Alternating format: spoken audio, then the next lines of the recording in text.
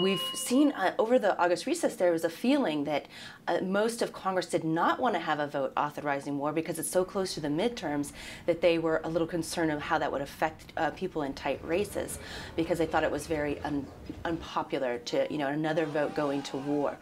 Uh, but now we're learning that there's now uh, this sort of growing drumbeat happening, and uh, Senator Bill Nelson, who's on the Armed Services Committee, uh, said he was going to drop a bill when he gets back. That the time is right for um, for Obama to have this authority and for Congress to weigh in and give it to him. And now we're seeing other people like Senator Bob Corker, who is a Republican on the Foreign Affairs Committee. He also is saying that we need the administration to come in and lay out and justify what they want to do in Syria um, next week when Congress returns. So these, this is one of many voices, Senator Bill Nelson weighing in on this and calling for the Congress to get involved and to authorize airstrikes in Syria.